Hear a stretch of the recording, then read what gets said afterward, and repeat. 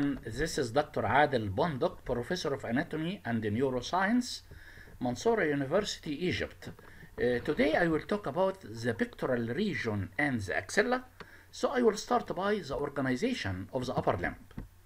Regarding the skeleton of the upper limb, the first part of the upper limb is the shoulder girdle. The shoulder girdle is formed of two bones, the clavicle anterior and the scapula posterior. Then the arm has only one bone, which is the humerus. The forearm has two bones. The radius is the lateral bone, and the ulna is the medial bone.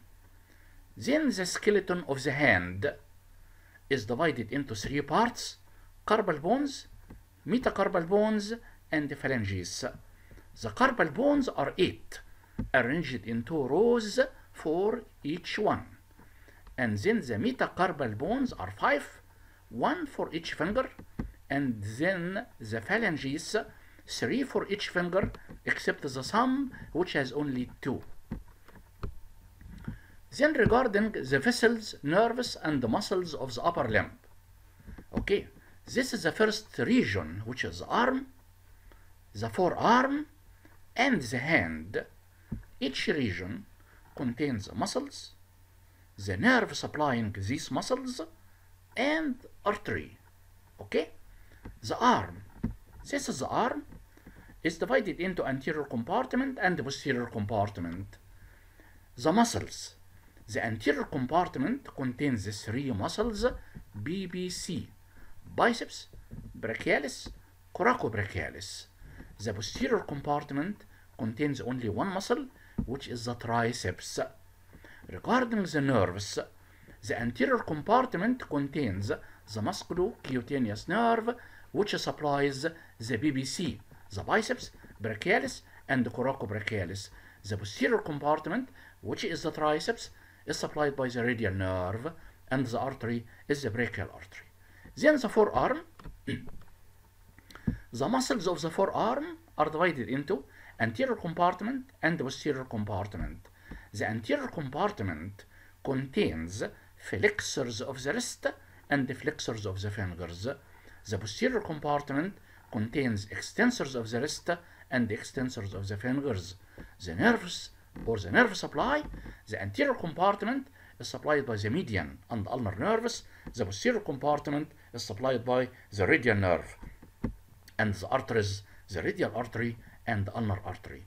Regarding the hand, muscles, vessels, and the nerves. The muscles, short muscles and long tendons coming from the forearm. The nerves, the continuation or the termination of the median, ulnar, and radial nerves. And the arteries, palmar arches. Palmar arches, superficial palmar arch, and deep palmar arch, which are the continuation of the radial and ulnar arteries. So start by the pectoral region. This is the pectoral region containing three muscles and three layers of fascia. So the pectoral region, three muscles and three layers of fascia. The three muscles, the anterior layer is the pectoralis major, the posterior layer formed of two muscles, pectoralis minor and the subclavius. The three layers of fascia of course, the first one, which is deep to the skin, superficial fascia, then the deep fascia, and the clavipectoral fascia in this area, clavipectoral fascia. The superficial fascia, which is deep to the skin, it contains the mammary gland or the breast. Then the deep fascia, it covers the pectoralis major, and then clavipectoral fascia, filling the space between pectoralis minor and the subclavius. Here is the clavipectoral fascia. Start by the muscles. This is the pectoralis major muscle. Regarding the origin, it arises by two heads, clavicular head and sternocostal head. The clavicular head arises from the front of the medial half of the clavicle. The sternocostal head arises from the sternum and the upper six or seven costal cartilages. Regarding the insertion, it is inserted into the lateral lip of the bicipital groove. It is supplied by two nerves, medial pectoral nerve and the lateral pectoral nerve. Medial pectoral nerve from the medial cord of the brachial plexus, lateral pectoral nerve from the lateral cord of the brachial plexus. Regarding the action, any muscle attached to the bicipital groove adducts and medially rotate the arm. And if the muscle is coming from the front like the pectoralis major it flexes the shoulder joint. If it is coming from the back it extends the shoulder joint. Therefore the pectoralis major has three actions. The first one adduction of the arm medial rotation of the arm and the flexion of the arm so adduction flexion and medial rotation this is the pectoralis major muscle this is the clavicular head arising from the clavicle this is the sternocostal head arising from the sternum and the costal cartilages. It is inserted into lateral lip of the bicipital groove. It is supplied by medial pectoral and lateral pectoral nerves and the action is adduction, flexion and the medial rotation of the arm or shoulder joint.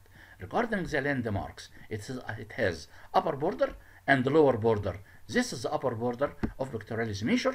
The upper border is separated from the deltoid by this groove, deltopectoral groove. This deltopectoral groove contains three structures, artery, vein, and lymph nodes. The artery is the deltoid branch of the thoracoacromial artery. The vein is the cephalic vein, and the lymph nodes are infraclavicular lymph nodes. Lymph nodes below the clavicle. The lower border of the pectoralis major, it forms the, this is the lower border, it forms the anterior axillary fold.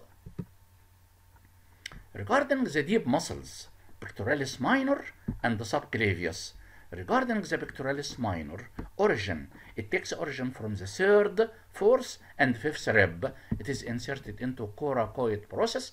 It is supplied by the medial pectoral nerve, and regarding the action, it depresses depression of the shoulder of the shoulder or depression of the scapula okay or downward rotation of the scapula plus protraction of the scapula protraction is forward movement of the scapula or forward movement of the shoulder okay? So the action of the pectoralis minor depression of the scapula okay? And the protraction or forward movement of the scapula.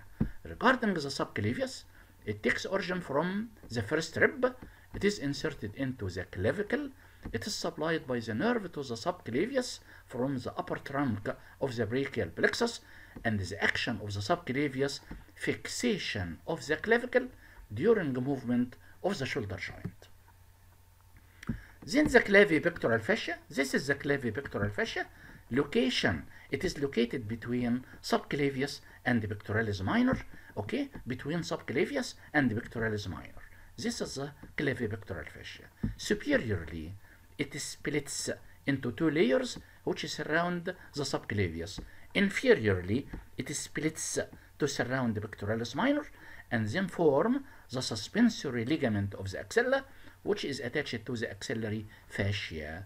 Okay, so this is the clavipectoral fascia. It surrounds the subclavius. It surrounds the pectoralis minor. It forms the suspensory ligament of the axilla. It is also called costocoracoid membrane. Why it is called the costocoracoid membrane? Because it is attached medially to the first costal cartilage. It is attached laterally to the coracoid process. This clavipectoral fascia is pierced by four structures artery, vein, nerve, and lymphatics. The artery is the thoracoacromial artery. The vein is the cephalic vein. The nerve is the lateral pectoral nerve, and then lymphatics. So the clavipectoral fascia between subclavius and pectoralis minor, it is pierced by four structures, thoracoacromial artery, cephalic vein, lateral pectoral nerve, and lymphatics.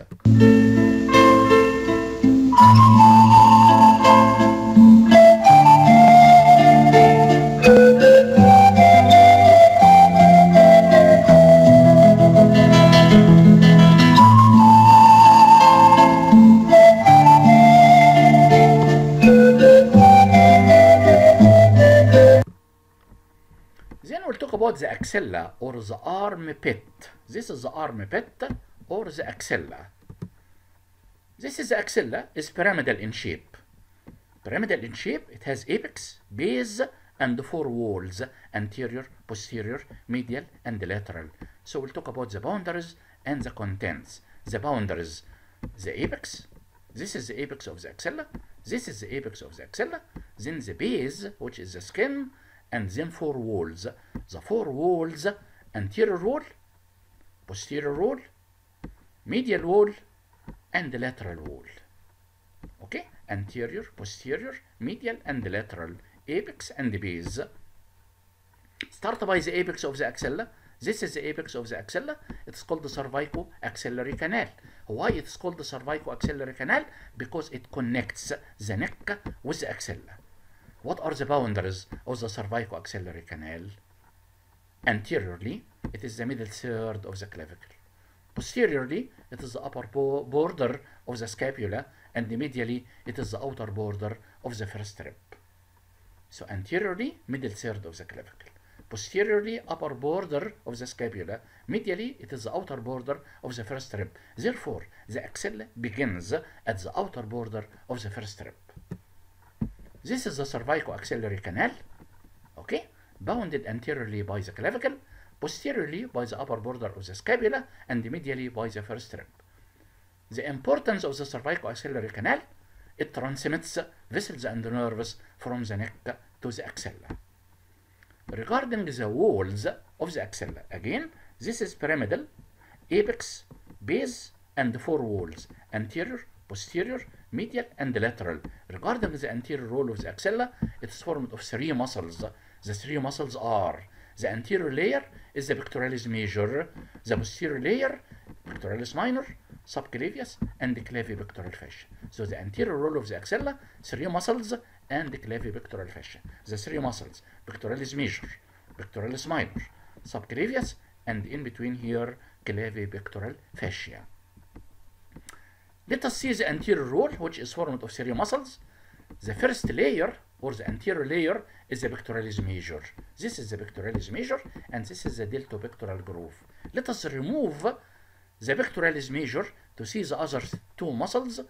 The deep muscle, this is the subclavius, and from the third, fourth, and fifth ribs, pectoralis minor, and in between, clavipectoral fascia. So the anterior wall, three muscles, and clavipectoral fascia. The three muscles, pectoralis major anterior, pectoralis minor, and subclavius posterior, and clavipectoral fascia in between.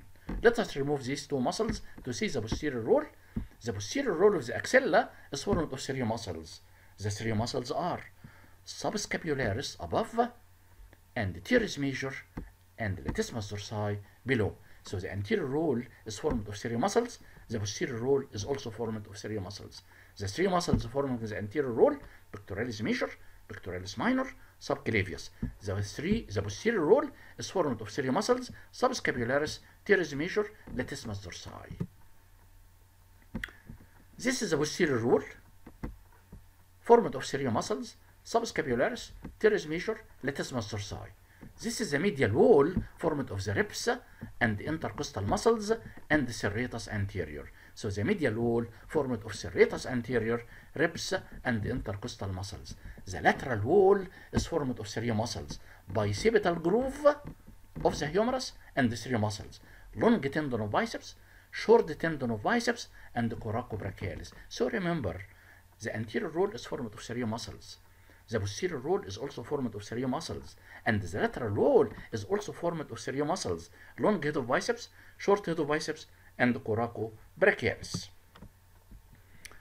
We have what is called axillary folds. Axillary folds, anterior and posterior. The anterior fold of the axilla is formed by the lower border of pectoralis major. The posterior fold of the axilla is formed by the lower border of teres major and the latissimus dorsi. The posterior fold is lower than the anterior fold, therefore the lower limit of the axilla is the posterior fold, is the lower border of teres major and latissimus dorsi. Again, this is the axilla, and this is the axillary fat. This is the anterior wall, posterior wall, apex, and base. So the apex of the axilla is the cervico axillary canal. The base of the axilla is the skin and the axillary fascia. This is the axillary fascia. Anterior wall of the axilla, three muscles and clavipectoral fascia. The three muscles, pectoralis major anterior, pectoralis minor behind, subclavius also behind. And here, number three, is the clavipectoral fascia. So this is the anterior wall of the axilla. The posterior wall of the axilla, three muscles, subscapularis, teres major, latissimus dorsi. And this is the medial wall of the axilla, formed of serratus anterior, ribs and intercostal muscles. And number four is the lateral wall of the axilla, formed of serratus muscles, long head of biceps, long head of uh, short head of biceps, and coraco brachialis. Again, this is the axilla, anterior wall, posterior wall, medial wall, and the lateral wall. The anterior wall is formed of three muscles, pectoralis major, pectoralis minor, and the subclavius. And in between here, clavipectoral fascia. The posterior wall is formed of three muscles, subscapularis, teres major, latissimus dorsi. This is the medial wall. It is formed of serratus anterior, ribs, and intercostal muscles. This is the lateral wall, formed of bicipital groove and three muscles, long head of biceps, short head of biceps, and the coracobrachialis. And finally, the contents of the axilla. What are the contents of the axilla? Number one, axillary vessels. What are the axillary vessels? Axillary artery and axillary vein. Of course, axillary artery and its branches, axillary vein and its tributaries, and the nerves. This is the brachial plexus and intercostobrachial nerve. What is the intercostobrachial nerve? It is the lateral cutaneous branch of the second intercostal nerve. And then axillary lymph nodes. We'll describe them in a separate lecture. Axillary lymph nodes divided into five groups. And then this part of the breast is called the axillary tail of the breast and the axillary fat. So what are the contents of the axilla? Vessels, nerves, lymph nodes, axillary tail of the breast, and fat. Axillary vessels, axillary artery and axillary vein, nerves, brachial plexus and the intercostobrachial nerve, axillary lymph nodes divided into five groups, and axillary tail of the breast. And thank you very much. Best wishes and good luck.